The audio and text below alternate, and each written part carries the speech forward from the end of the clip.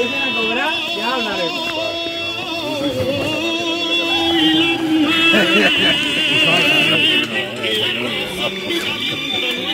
hay, que, hay que ahorrar, hay que ahorrar.